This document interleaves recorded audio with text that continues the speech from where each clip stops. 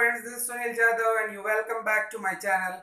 In this video, we will see how to find out HCF that is highest common factor with the Euclid's algorithm. Or in other words, we can say GCD. What is GCD? Greatest common multiple or highest common factor. How to find out with the help of Euclid's algorithm. Let's see. Let's see, use Euclid's division algorithm to find out HCF of 135 and 225. You know that how to find it out with the Euclid's division algorithm. We know that Euclid's division algorithm says that A is equal to BQ plus R. That is A is a dividend. Dividend is equal to divisor into quotient plus remainder with the condition that 0 is less or equal to remainder will be less than b that is less than dividend not dividend but it is divisor. Now let us see how to find out it's by the simple method. Then we know how to find it out. 135 is equal to we know the factors of 135 that is 3 into 3 into 3 into 5 5 3 is a 15 3 is a 45 3 is a 135 and another is 2 to 5 that is equal to the we should the, write the factors that is 3 into 3 into 5 into 5 5 5 is 25 3 is 75 75 3 is 2 to 5 now we know how to find out HCF HCF of both of them will be equal to we need to take highest common factor. That means 3 3 2 times. That means in both this comes so I will write it 3 again 3 3 comes once. That is 3 here 3 but no 3 more so I will not write it more 5 5 once it is repeated 5 here it is 5 but no more 5 is there. So 5 3s are 15 3s are 45 so HCF will be equal to 45 this is simple method to find out HCF now we'll go to find out the same thing by the Euclid's division algorithm. Let us see.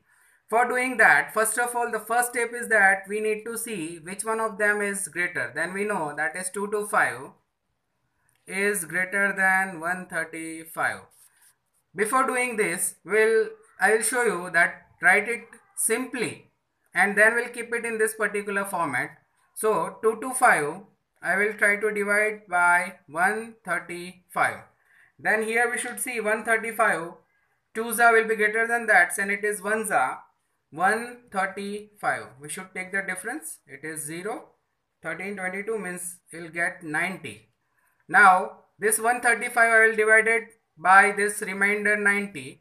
So I will write it 135. I will try to divide by 90. Again 92 is a 180. So 91 is a 90. The difference will be 45. Here 45. I will try to divide this 90 by 45. Then you should see 45 2s are 90 and the remainder will be 0 0. So here I will write it in this particular format.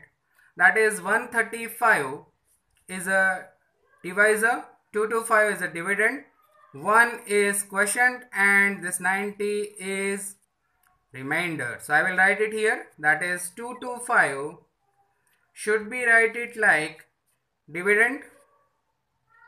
Sorry that 225 is itself a dividend. 135 is a divisor. So B that is we know that B A would be divided by B. We got Q and remainder R. So this is what 2 to 5 is equal to B. B means 1 3 5 into this one. That is quotient 1 plus remainder. What is remainder? 90 135 into 1 135 plus 90 is equal to 2 to 5 second step as it is 135 that is dividend has to divide by 90 so this time 90 will be divisor. So 90 into what is quotient? That is 1 plus in this case what is remainder? 45 so this is second number step. Now again 90 is a dividend. So 90 is equal to 45